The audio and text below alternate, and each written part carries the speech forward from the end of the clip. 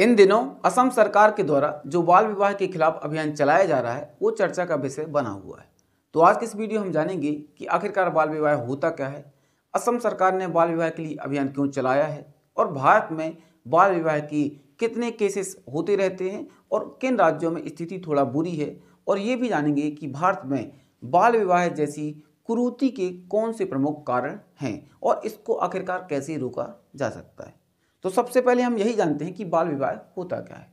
तो बाल विवाह का सिंपल मीनिंग ये है कि किसी भी पुरुष की शादी यदि 21 वर्ष से पहले और महिला की शादी 18 वर्ष से पहले हो जाती है तो बाल विवाह के अंतर्गत आता है। तो अब हम समझते हैं कि असम सरकार ने बाल विवाह के खिलाफ अभियान क्यों चलाया हुआ है। तो असम से ही चलने की जो असली वजह है, वो ये है कि यहाँ का जो मेटरनल मोर्टिलिटी रेट है और इन्फेंट मोर्टिलिटी रेट है, वो बहुत ही ज़्यादा है।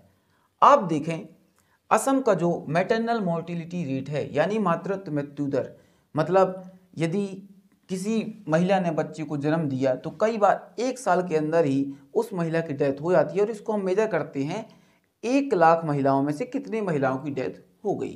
तो आप समझिए, असम में 215 महिलाओं की डेथ हो जाती है बाल विवाह के कारण ही, या आप कह सकते हैं मैटरनल मोर्टिलिटी रेट और मैटरनल मोर्टिलिटी रेट की जो एक अहम वजह है, वो हो जाता है अर्ली मैरिज तो आप देखें, असम में बहुत ही बुरी सिचुएशन है। इस तरह से आप बात करें इन्फेंट मोर्टिलिटी रेट की तो आप देखें इंडिया का इन्फेंट मोर्टिलिटी रेट था 2019 में 30 और यदि हम बात करें असम की तो ये था 40 तो आप देखें, देश के एवरेज से यहाँ पर इन्फेंट मोर्टिलिटी रेट भी ज़्यादा है। तो इन्हीं को रोकने के लिए जैसे आप समझिए, मातृत्व मृत्यु दर है मतलब कई महिलाओं की और उनके बच्चों की डेथ हो जाती है तो उसकी असली वजह है बाल विवाह। और बहुत से बच्चे जो कुपोषित होते हैं, उसकी भी एक वजह बन जाती है बाल विवाह। इसलिए असम सरकार ने ये डिसीज़न लिया है कि 2026 तक हम लगातार इस तरीके की एक्शंस लेते रहेंगे ताकि बाल विवाह जैसी कुरूति को हम लोग ख़त्म कर सकें। तो असम सरकार इस बार लगातार कानूनों का उपयोग करके कार्यवाही कर रही है और इस पूरे प्रकरण में एक्ट्स का पर्याप्त मात्रा में इस्तेमाल किया जा रहा है। तो आप समझिए गार्जियंस ऑफ़ द चाइल्ड और people engage in solemnising her marriage such as priest guest will face punishment मतलब जो उधर पे पुजारी होंगे, मौलवी होंगे, उनको भी पनिशमेंट दिया जाएगा। या फिर जो भी रिलेटिव्स होंगे गेस्ट होंगे, उनको भी पनिशमेंट दिया जाएगा, यदि चाइल्ड मैरिज का कोई केस आता है। और इसकी सज़ा है लगभग दो साल तक। साथ ही साथ इसमें एक लाख का जुर्माना भी लगाया जा सकता है। इसके अलावा और स्ट्रिक्ट एक्शन लिए जा रहे हैं कुछ लोगों के खिलाफ। यदि उन्होंने 14 ईयर से पहले ही शादी कर ली है तो उसमें असम सरकार पोक्सो एक्ट भी लगा रही है। पोक्सो का फुल फॉर्म होता है protection of children from sexual offence act. इसके तहत सरकार किसी व्यक्ति को बाद में सात साल तक के लिए जेल भेज देती है और उसको आजीवन कारावास भी दिया जा रहा है। अब हम बात करते हैं कि भारत में चाइल्ड मैरिज की क्या स्थिति है। तो आप देखें, दुनिया में जितने भी चाइल्ड मैरिज के केस आते हैं, उसमें से हर तीसरा जो चाइल्ड मैरिज का केस है, वो इंडिया में ही हो जाता है। और दुनिया में कुल 650 मिलियन चाइल्ड मैरिज के केसेस आते हैं और उसमें से इंडिया में आप समझिए 223 मिलियन केसेस चाइल्ड मैरिज के आ जाते हैं। तो आप समझ सकते हैं कि दुनिया में सबसे ज़्यादा यदि कहीं बाल विवाह होते हैं तो वो भारत देशी है। इसके अलावा यदि हम बात करें महिलाओं और पुरुषों में क्या रेशियो है तो आप समझिए, चार में से हर एक महिला बाल विवाह का शिकार है। इसी तरीके से पुरुषों में 25 में से हर एक पुरुष बाल विवाह का शिकार है। और यदि हम बात करें रूरल और अर्बन एरियाज़ की तो आप देखें, गाँव में ये ज़्यादा इसका परसेंटेज है तो 27 परसेंट चाइल्ड मैरिज गाँव में हो जाती है और 14.7 परसेंट आपको अर्बन एरियाज़ में चाइल्ड मैरिज के केसेस देखने को मिल जाएँगे।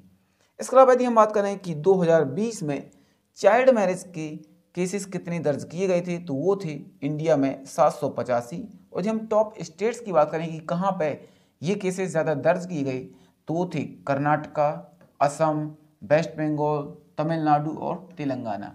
लेकिन यदि हम वास्तव में ये देखें कि आखिरकार भारत के किन राज्यों में सबसे ज़्यादा चाइल्ड मैरिज होती है तो उनमें से आपको भारत के फाइव स्टेट्स देखने को मिल जाएँगे, जहाँ पे आधे से ज़्यादा भारत के चाइल्ड मैरिज के केस आपको देखने को मिलेंगे। तो सबसे पहले उसमें उत्तर प्रदेश। यहाँ पे 36 परसेंट चाइल्ड मैरिज हो जाती है। बिहार में देखें तो 22 परसेंट वेस्ट बंगाल में भी 22 परसेंट जो भी मैरिजेज होती हैं, उसमें चाइल्ड मैरिज 22 परसेंट है। फिर है महाराष्ट्र 20 परसेंट और मध्य प्रदेश 16 परसेंट और इन पाँच राज्यों में ही भारत के लगभग आधे से ज़्यादा चाइल्ड मैरिज के केसेस आपको देखने को मिल जाएँगे। अब हम बात कर लेते हैं कि आखिरकार ऐसी वजह कौन सी है जिसकी वजह से भारत में बाल विवाह लगातार होती जाती है? तो पहला है ट्रेडिशनल सिस्टम। शुरुआत से चला आता था कि जो भी बालिकाएँ हैं, उनकी बहुत पहले शादी हो जाती थी और इसका एक हिस्टोरिकल रीजन भी है कि भारत में बहुत से आक्रमण होते रहते थे तो सैनिकों से रक्षा करने के लिए उनकी जल्दी शादी कर दी जाती थी। इसके अलावा यदि हम कुछ और कारणों की बात करें तो आप देखें प्रेशर फ्रॉम रिलेटिव्स और प्रेशर फ्रॉम फैमिली मेंबर्स कई बार जो पारिवारिक सदस्य हैं और जो उनके रिश्तेदार हैं, वो भी दबाव बनाते हैं कि लड़की की जल्दी शादी कर देनी चाहिए। और एक और जो अहम वजह है, वो है डिमांड ऑफ़ डाउरी मतलब दहेज प्रथा अभी भी एक बहुत बुरी कुप्रथा है और उससे बचने के लिए कई बार जो पेरेंट्स हैं, वो जल्दी शादी कर देते हैं, क्योंकि जब अर्ली चाइल्ड मैरिज हो जाती है तो उसमें दहेज देने का जो इशू है, वो बहुत ही कम रहता है। इसके अलावा सेफ्टी एंड सिक्योरिटी प्रॉब्लम्स भी देखी जाती है। कई बार आप देखते होंगे रेप के केसेस देखने को मिल जाते हैं। तो लड़की सुरक्षित रहे, इसलिए उसको कई बार इस हिसाब से भी उसकी जल्दी शादी कर दी जाती है। इसके अलावा लेन ओनरशिप रिलेटिव इशूज़ भी देखे जाते हैं। कई बार ये अभी भी भारत क्या है प्रतिसत्तात्मक समाज है तो ये माना जाता है कि असली राइट प्रॉपर्टी किसका होना चाहिए? उसके लड़कों का, ना कि लड़की का। तो इस चक्कर में वो कई बार जल्दी शादी कर देते हैं कि ये अपने ससुराल चली जाएगी और जो भी प्रॉपर्टी है, उस पर ये अपना मालिकाना हक नहीं जताएगी। लेकिन आज की डेट में आप समझिए, चाहे उसकी शादी हो जाए, उसके बाद भी उस लड़की को माता पिता की जो भी प्रॉपर्टी उस पर पूरा अधिकार है। इसके अलावा एक और जो अहम वजह है, वो है इकोनॉमिक हार्डशिप एंड पॉवर्टी जो पेरेंट्स होते हैं, भारत में आप देखिए, गरीबी बहुत ज़्यादा है। अभी भी तीस करोड़ लोग भारत में गरीब हैं। तो डॉरी से बचने के लिए और गरीब हैं तो वो चाहते हैं कि जितनी जल्दी जो लड़की हो, ससुराल चली जाएगी, उतना ज़्यादा उसका जो भोजन पानी की व्यवस्था है या फिर एजुकेशन हेल्थ की व्यवस्था है, वो उनको नहीं करनी पड़ेगी। तो यही वो सभी कारण हैं जिसकी वजह से भारत में अभी भी बाल विवाह के बहुत से केसेस आपको देखने को मिलते हैं। इसके अलावा आपको ये बात भी समझनी होगी कि किसी भी सामाजिक बुराई को हम केवल कानूनों के माध्यम से ख़त्म नहीं कर सकते हैं। यदि हम उसको ख़त्म करना है तो सोसाइटी यानी समाज को भी आगे आना होगा।